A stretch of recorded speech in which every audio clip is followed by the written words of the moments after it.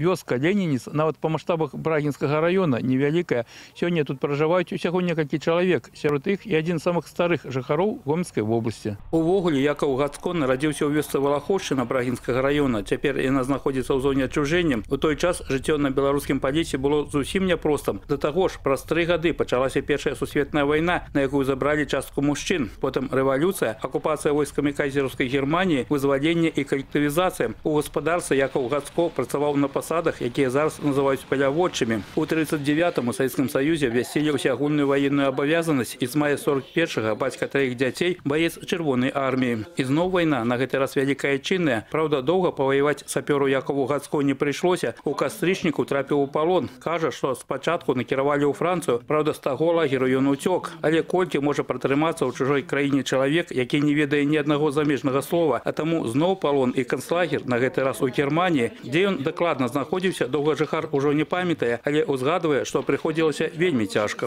На работу гоняли нас, э, самолеты налетят на, на город чи куда, разом- разбомбят.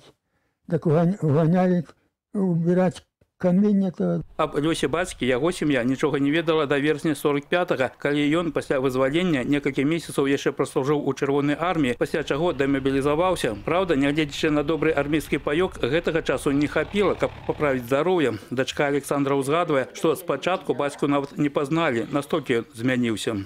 А щоб тоді побачили, так одні кості поприходили. І він вже позабувався тепер, так він вже не знає. А тоді пішов розказував, так на голові волос подимався. Ну, Як їх кормили і били, каже, їх там яка заставляли ті копу копати. Голодні, а там, де, каже, догореш хліба кусочок хто дасть.